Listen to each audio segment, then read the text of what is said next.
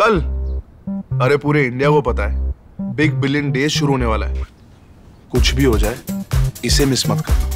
हम्म? India's biggest sale, Flipkart's Big Billion Days, starts tomorrow. अब India होगा budget से मुक्त।